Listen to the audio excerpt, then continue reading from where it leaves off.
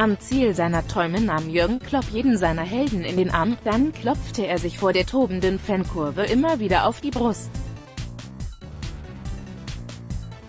Der deutsche Trainer hat mit dem FC Liverpool dank eines Blitztreffers von Mohamed Zelle und eines späten Tores von Divock Origi endlich die Champions League gewonnen und sich selbst ein Denkmal gesetzt.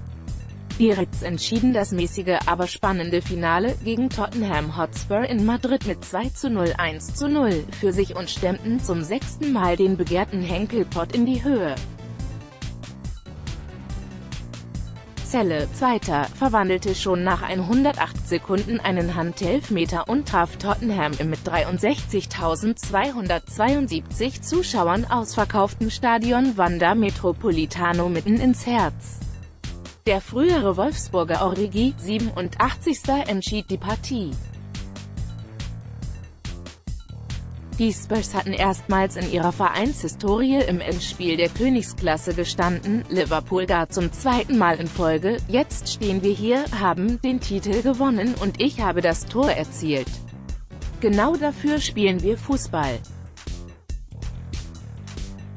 Wir hatten einen starken Gegner, aber wir waren auch selbst stark, sagte Origi, der 2018 mit Wolfsburg noch in der Relegation um den Klassenerhalt gekämpft hatte, bei Sky. Torhüter Alisson Becker meinte, unglaublich ein Kindheitstraum wird wahr. Davon werde ich noch den Kindern meiner Kinder erzählen. Für Klopp endete sein Finalfluch. Zuletzt hatte der 51-Jährige sechs Endspiele in Folge verloren, davon zwei in der Champions League. Der Sieg im wichtigsten Vereinswettbewerb Europas ist der größten Erfolg seiner Karriere. Erst als zweiter deutscher Coach nach Jupp Heynckes gewann er mit einem ausländischen Club die Trophäe.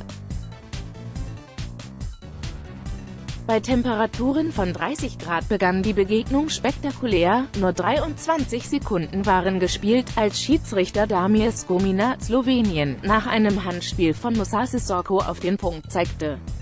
Selle nutzte die Chance und drosch den Ball trocken ins Netz. Auf der Bank jubelte Klopp nur verhalten, seine Hände verschwanden schnell wieder in den Hosentaschen.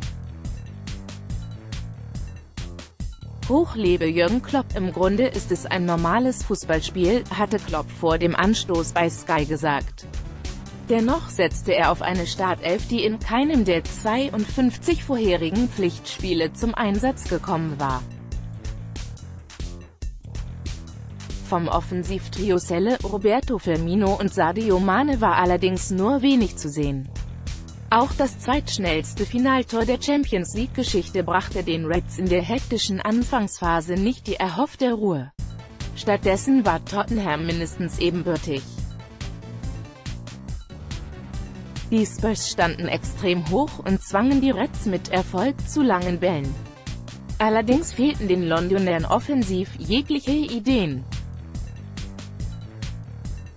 Auch der lange verletzte WM-Torschützenkönig Harry Kane, der erstmals seit siebeneinhalb Wochen wieder auf dem Platz stand, hing häufig in der Luft und hatte bis zur Pause nur elf Ballkontakte. Für Kane hatte Halbfinalheld Lucas Moura auf der Bank Platz nehmen müssen. In dem von Taktik geprägten Spiel gab es folglich kaum Chancen. Ein Fernschuss von Liverpools Trent Alexander-Arnold rauschte knapp am langen Pfosten vorbei. 17. Andrew Robertson versuchte es mit Gewalt aus der Distanz. 38. Auf der Gegenseite fiel Ex-Bundesliga-Star Heung-Min Son zumindest mit Einzelaktion auf. Spurs engagiert, aber ohne Fortune. Die jeweils 16.000 Fans beider Clubs sorgten dennoch für Gänsehautstimmung, kein Vergleich zum dürftigen Europa League-Finale in Baku drei Tage zuvor.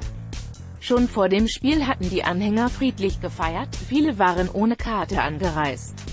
Auf dem Schwarzmarkt wurden bis zu 5000 Euro für ein Ticket geboten. Geboten wurde den Fans aber auch in der zweiten Halbzeit zunächst nicht viel. Die Spurs strahlten nun zwar etwas mehr Gefahr aus, am Strafraum war aber meist Endstation.